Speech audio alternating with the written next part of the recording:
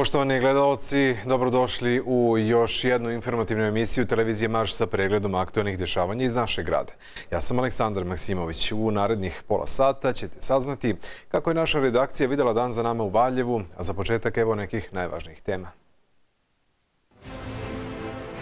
U Valjevu povišene koncentracije čađi i u prvim danima decembra. Najveće zagađenje tek stoji. Prema podacima Zavoda za statistiku, prosječna plata u Valjevu oko 40.000 dinara, što oko 5.000 dinara manje u odnosu na republički prosjek. Privredna komora Srbije dodelila holding kompaniji Krušik nagradu za 77 godina uspješnog poslovanja.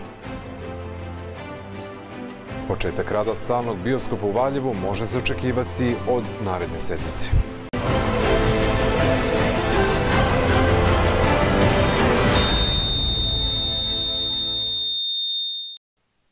Prema poslednjim merenjima Zavoda za javno zdravlje Valjevo, povišene koncentracije čađije zabeležene su i u prvim danima decembra, a najveće zagađenje tek predstoji jer sledi pad temperature.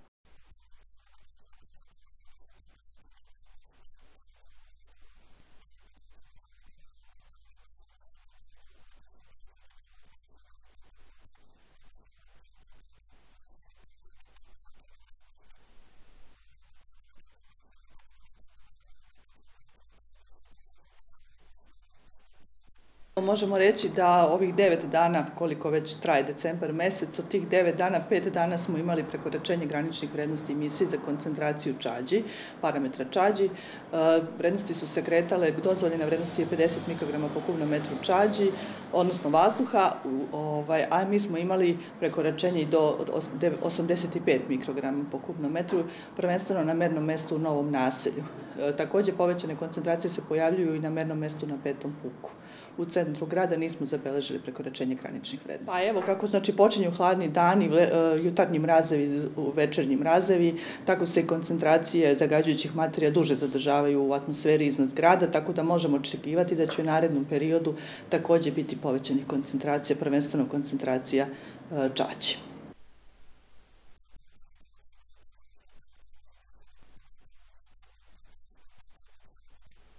Pa savjeti su kao i uvek, znači da su oni koji su najugroženiji, a to su mala deca, stari i bolesni, e, prvenstveno izbjegavaju izlazak van zatvorenog prostora u ranim jutarnjim, kasnim, popodnevnim i večernjim satima. I naravno, ukoliko je zaista, kada su jako visoke koncentracije, preporuka je da se stavljaju i šalovi ili neke, e, neka zaštita na disajne organe.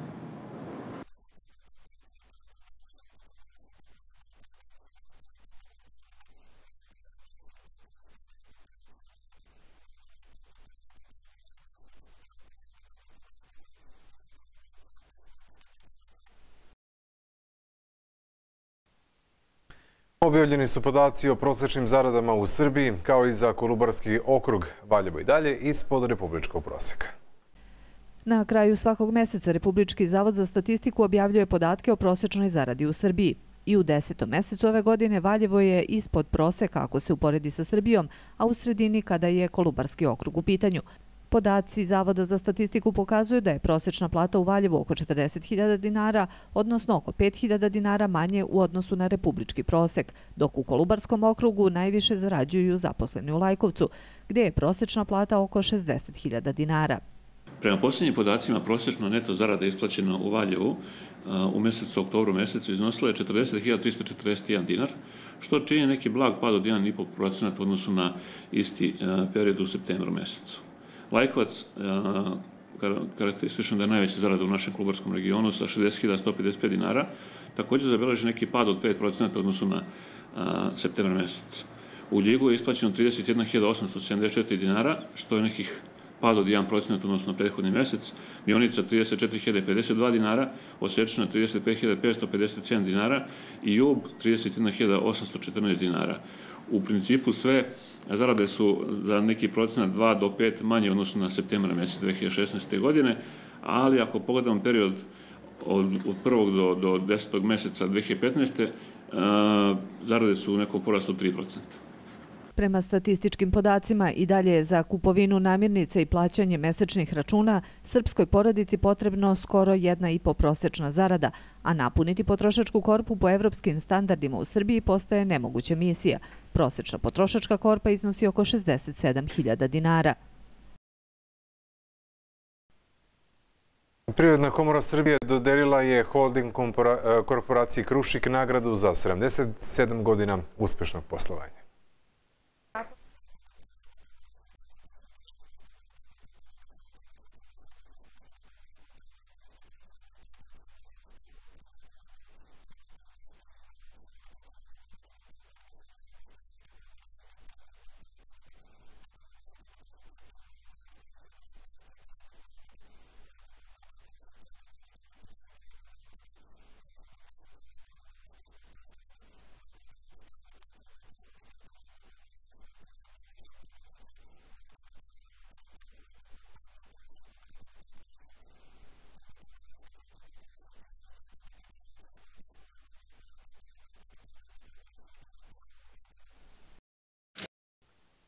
U Srbiji se proteklih godina povećao kapacitet zatvorskih mesta za oko 2500, ali se istovremeno i primenjuju druge mere kao što su alternativne sankcije ili mere obezbeđenja za prisustvo okrivljenog koje ne zahtevaju njegov boravak u pritvoru.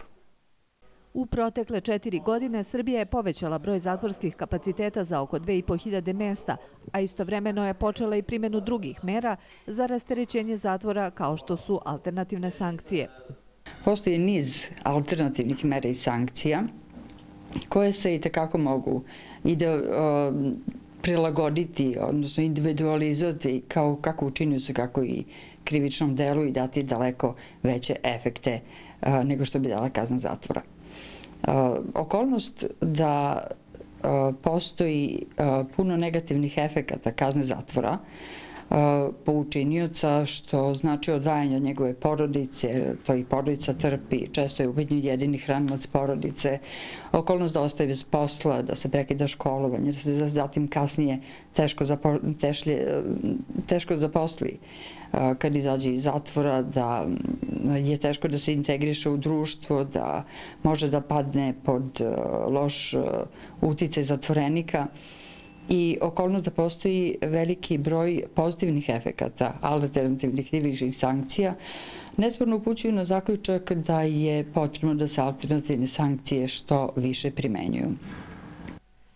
Istraživanja su pokazala da postoje određeni problemi koji dovode do toga da se alternativne mere ne primenjuju dovoljno.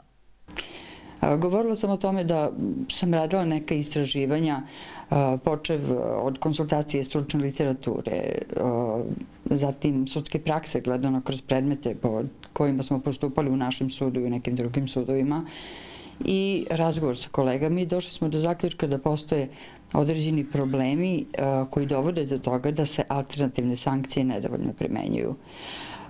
Ti problemi se pre svega tiču okolnosti, recimo u vezi sa krivičnim delom radu javnom, u vezi sa sankcijom radu javnom interesu, da sudije često nisu upućene u to na koji način bi mogli da izreknu to alternativnu sankciju. Nedumica postoji u vezi sa tim da li su u obavezi da odrede subjekt u kojem će se ta sankcija izvršiti, što naravno ne stoji, i na koji način bi je izrekli. Postoji problem također u tome što smatraju da je na neki način, što i jeste istina, na neki način prikupljanje podataka o tome da li se stvaraju uslovi za izricanje te sankcije može i prejudicirati odluka. Šta to znači praktično? To znači da se rad u javnom interesu ne može u smislu zakona obaviti bez saglasnosti učinioca, jer bi to značilo prinuti rad koji nije dozvoljen, a ukoliko prikupljate obaveštenje od optuženog da li je prihvata takav rad, na neki način prejudicirate odluku što ne bi bilo dobro. Jedna od sankcija koja se vrlo redko primjenjuje jeste uslovna osuda sa zaštitnim nadzorom. Jako interesantna uh, alternativna sankcija. Uh, svi smo se složili da bi trebalo da se uh, što češće izriče, da je vrlo redko u primjeni. Ona se primenjuje, odnosno trebalo bi da se izriče u svakom slučaju kada sud nađe da samo uslovna osuda po sebi nije dovoljna da se postigne svrha njenog izricanja i da bi se efekti postigli time što bi se optuženi, odnosno osuđeni, stavio i pod zaštitni nadzor. Sav zaštitni nadzor svodi se na mere zaštite, pomoći i uh, dalo bi daleko veće efekte po učinioce. Ipak neke stvari su u zakonu nedorečene, a jedan od većih problema jeste što nema povratnih informacija da li se sankcije izriču. Nažalost, iz razgovora sa kolegama saznala sam da ne znaju na koji način da tako ilustrativno kažem, popune te zakonske praznine, jer neke stvari su u zakonu nedorečene, tako da ne znaju ni koja je povratna informacija, da li se te sankcije izriču, koliko se izriču, koji su pozitivni efekti, da li daju svrhu ili ne. I mislim da je to razlog zbog čega se nedovoljno izriču. Trenutno se u Srbiji izvršava oko 1300 alternativnih sankcija, a novi zakon kojim je uređena ova oblast doneo je mnogo veći obim posla poverenicima i povereničkoj službi. Također se razvija i postpenalni prihvat kao važan segment. Tako da pored e, kazni rada u javnom interesu uslovne osude sa zaštitnim nadzorom e, izvršavamo i obaveze prema e, odlukama tužilaštva, izvršavamo kazne i dalje takozvano kućnog zatvora, kućnog pritvora, meru zabrane prilaženja, uslovni otpust sa odredbama koje mogu da se odrede uz utrajanju uslovnog otpusta i takođe sada razvijamo postpenalni prihvat kao jednu jedan veoma važan segment e, e, u, u, u, uopšte u oblasti sankcionisanja, jer ukoliko ljudi nemaju nikakav prihvat nakon izlaska sa zatvorske kazne, onda je to e, povećava verovatnoću ponovnog činjenja krivičnog dela, što automatski smanjuje bezbednost društva. U Srbiji je u toku izrada nacrta strategije za pomoć bivšim osuđenim licima nakon izdržavanja kazne, a pored toga u planu je i projekat Evropske unije za unapređenje alternativnih sankcija. E, mi trenutno radimo urađene nacrt strategije e, za socijalnu reintegraciju bivših osuđenih lica, gde sarađujemo sa predstavnicima resornih ministarstava, sarađuju službe za tretman, poverenici, prosto da napravimo jednu, e, jedan model saradnje kako bi svako obavljao svoj deo posla upravo u cilju pružanja dobre podrške ljudima nakon izlaska sa izdržavanja kazne. Trebalo bi da ovaj, e, dobijemo još jedan projekat e, Evropske unije upravo za, e, za unapređenje, dalje unapređenje alternativnih sankcija kao i ovaj, upravo za rad na, na razvoju postpenalnog tretmana. Deo tog programa je, de, deo tog projekta podrazumeva i pomoć u u opremi, a deo se odnosi samo na, na, na unapređenje i na razmenu iskustava sa sistemima koji su razvijeni, naravno i čiji put mi u svom razvoju sledimo. Primjena alternativnih mera se iz godinu u godinu poboljšava, tako da je sve veći broj izvršenja alternativnih mera umesto zatvora. Početak rada stalnog bioskopa u Valjevu može se očekivati od naredne sedmice, već krajem decembra, odnosno od 22. do 25. Biće upriličeno i održavanje filmskog festivala pod nazivom Valjevski filmski susreti.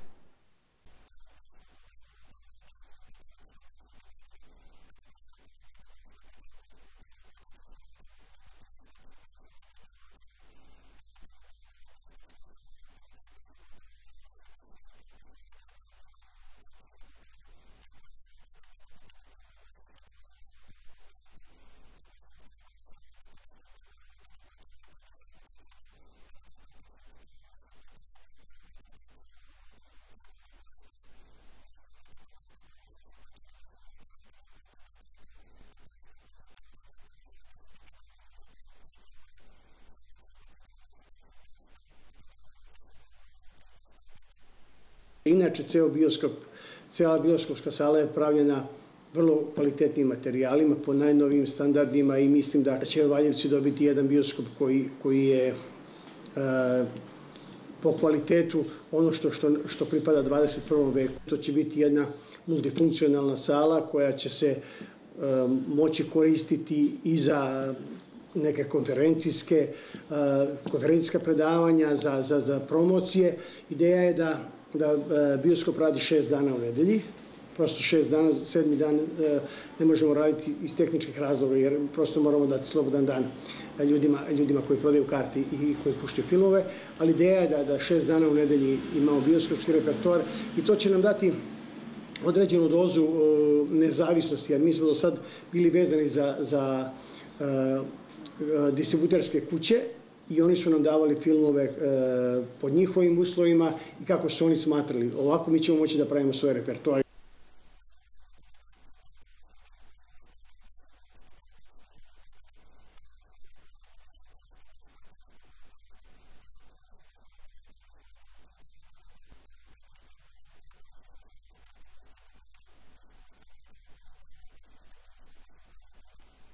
Ono što je fakat da ćemo imati manje troškove, jer e, sigurno i grejanja i, i, struje bit će mnogo manje troškovi nego kad, kad u velikoj sali pravimo, pravimo to. Drugo, kažemo, ona će biti funkcionalna u smislu da će imati klimu u sebi, da nećemo imati problem da li je leto ili je zima.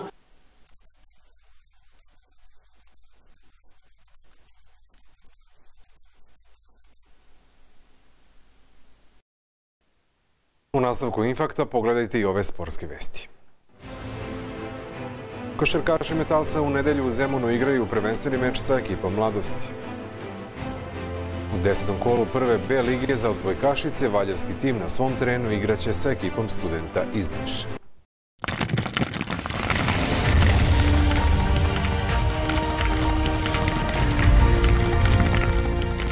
Svuda pođi, kući dođi. Restoran Kuća. Prva privatna internističko-kardiološka ordinacija u regionu, primariusa doktora Stojana Babića, interniste kardiologa i specijaliste za ultrazvuk. Dve decenije vrhunske diagnostike i lečenja. I nešto novo, najsavremenija slana soba na regionu. Slana pećina uz stručni nadzor lekara specijaliste.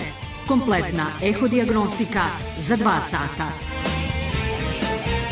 Specijalistička internistička ordinacija dr. Babić, Nušićeva 15. Radno vreme od 8 do 13 i od 17 do 20 časova.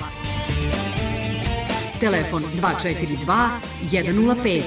Dr. Babić.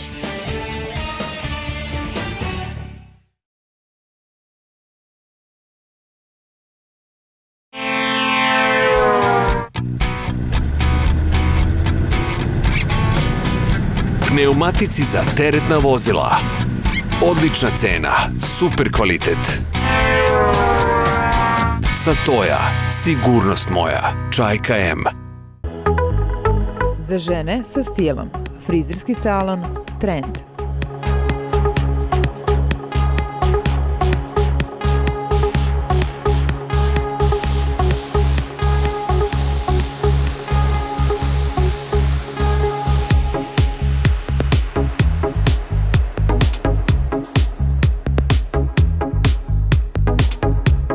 Karađorđeva 120.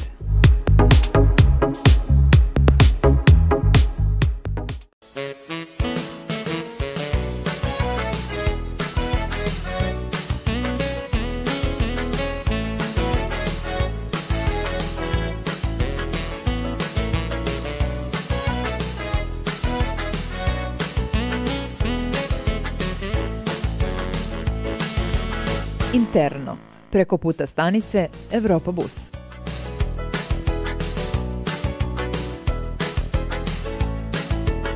Interno.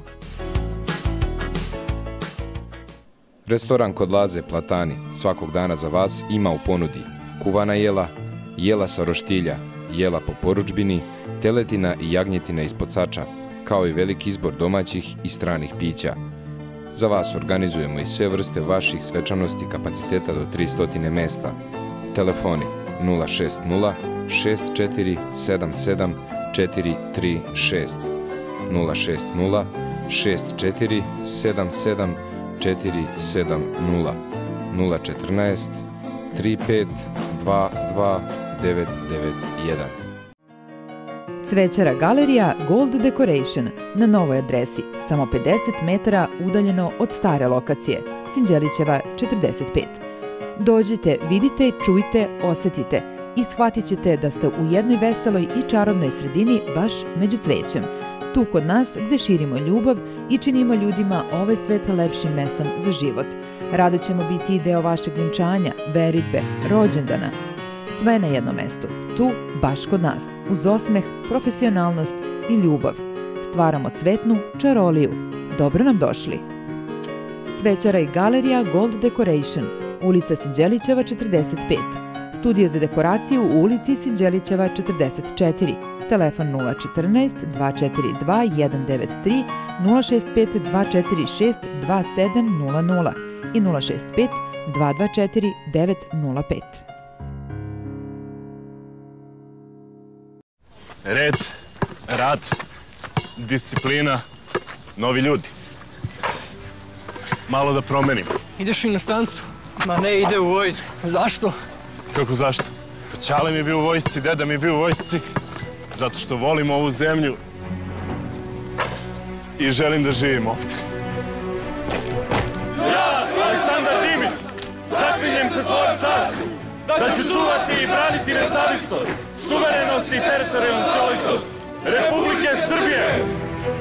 Da li si služio vojsku? Odgovor može dosta da znači. Prijavi se za dobrovoljno služenje vojnog roka.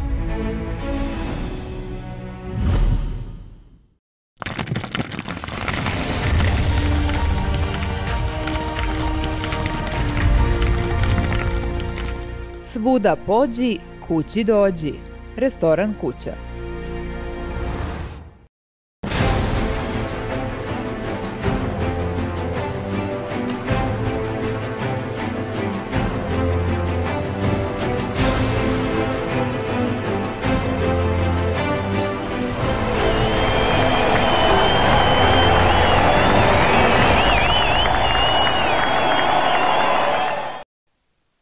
Košarkaši metalca u nedelju putuju u Zemun, gde će odigrati prvenstveni meč sa ekipom mladosti.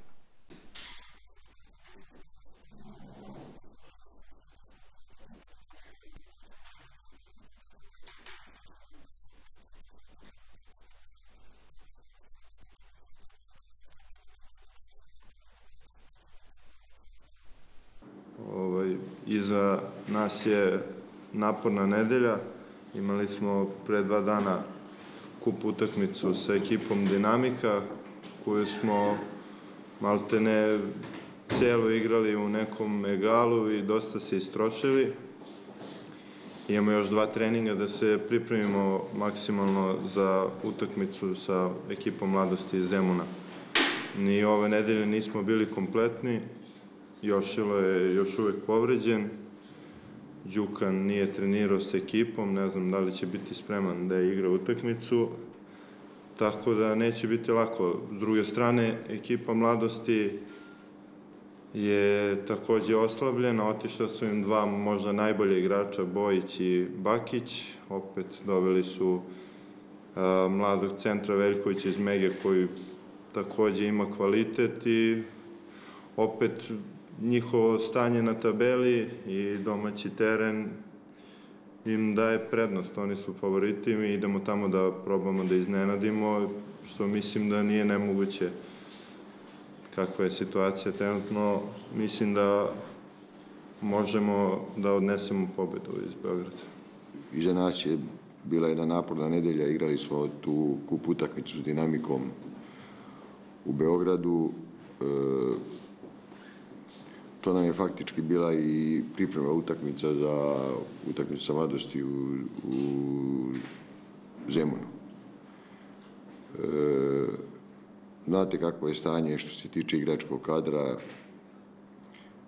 Jošilo još ne, ne trenira, imamo veliki problem što nam ne trenira Đukan Đukanović i vrlo je neizvesno da li će moći da nastupi na utakmici u, u, u Zemunu i očigledno vidi se da u našem tom stilu igre koji mi igramo dosta nam nedostaje što su pokazali utakmice i sa Beovukom i sa mladosti i sa dinamikom.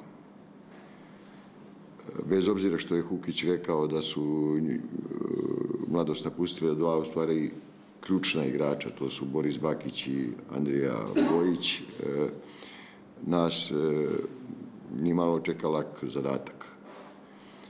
Prvo, mladost je ekipa koja do sada ima šest pobjeda i tri poraza, dosta igraju slobodno i rasterećeno. Za ovu utakmicu može da bude veliki motiv za njih baš zbog toga što nemaju ta dva igrača, iako su oni bili nosioci e, igre. Došao je iz Mege centar Veljković, znači nešto su se pokrili pod e, obručem. Mislim da na poziciji pleja gde je glavni osnovnic bio Bakić nisu e, doveli nikoga, ali oni imaju e, ekipu koja moramo respektovati Mi smo odigrali protiv dinamika jednu utakmicu solidno, ali sa padovima dobre i, i slabije igre.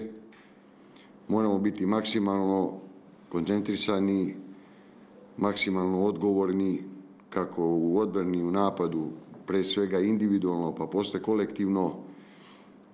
I ukoliko te zadatke budemo ispunili, možemo se nadati nekom povoljnijem rezultatu na utakmicu mladosti u Zemunu. Ako Bog da, igrat ćemo eto, u kompletnijem sastavu u nedelju, a nadam se protiv Vršica da ćemo igrati i u kompletnom sastavu. Prema tome, nama Đukan i Jošilo izuzetno mnogo znače u ovoj konstelaciji snaga i u ovom rosteru koji imamo, ne samo zbog brojnosti, već i zbog načina na koji oni igraju i pre svega ekstremno dobre igre u odbrani ali u svakom slučaju, kako god bilo, mi se moramo i s ovim što imamo boriti maksimalno i već u nedelju, ako nam se ukaže naravno prilika, pokušati da uđemo u jednu egalnu utakmicu i da eventualno dobijemo utakmicu tu protiv mladosti. Mladost je dobra ekipa, oni su favoriti, igraju na svom terenu, na terenu u terminu koji njima više odgovara nego nama. Mi odavde moramo krenuti u 9 sati ujutru, Tako da su to sve neke okolnosti koje, eto, na neki način njima daju prednost pre nego što je počela utakmica, ali u svakom slučaju metalac ima svoje kvalitete.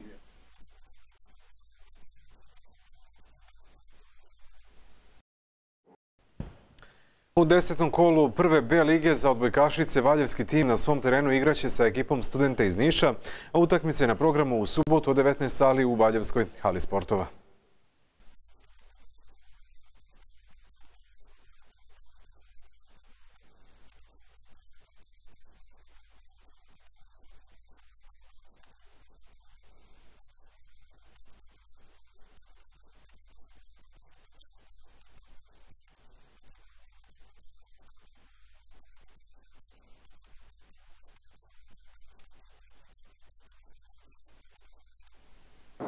Kažem da smo, bez obzira što smo odigrali dobre utakmice, pogotovo u prva tri seta, ovo, negde nismo smogli snage da, da, da i taj treći set rešimo u našu korist, iako smo vodili rezultatom 14-12. E, ali bez obzira na to i dalje smo u toj nekoj trci obe utakmice koje smo izgubili u prvom delu sezone e, protiv tih direktnih konkurenata jesu bile rezultatom 3-2 i sa druge strane negde u drugom delu sezone obe ekipe dolaze kod nas, tako da, da ništa tu nije gotovo, ima još jako puno da se igra.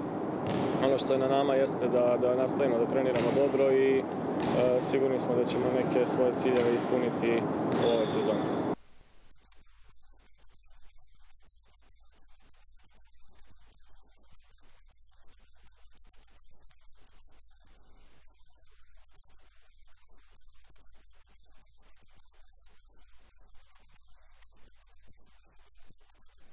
Je poslednje plasirana ekipa na tabeli. E, bez obzira na to, naravno, ni jedna utakmica nije unapred dobijena. Mi smo nastavili sa radom još od e, ponedeljka. E, sigurno je da je, da je to lakši protivnik, ali bez obzira na to spremamo se maksimalno, jer ostala su, kažem, još dva kola. Naš cilj je da, da iz obe utakmice izađemo sa svih šest bodova i, i ovo, odemo na, na pauzu sa, sa tim skorom od, od dva poraza. Da, sutra je utakmica protiv studenta u 7 sati uveče, pa ništa ulazimo u utakmicu Iako su oni dosta slabije rangirani od nas, ući ćemo sa velikim, velikom snagom da ih pobedimo, jer su nam potrebna ta tri boda.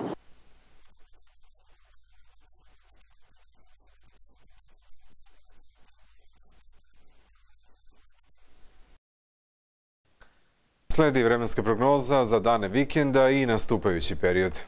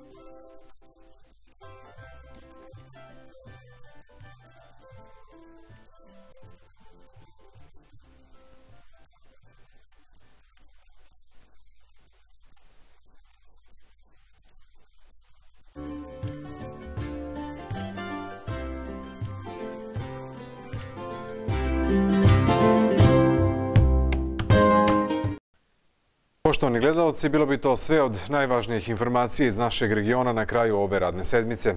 Hvala što ste i danas bili uz naše informativne emisije. Vidimo se ponovo od ponedeljka u istim terminima. Do tada, prijatno.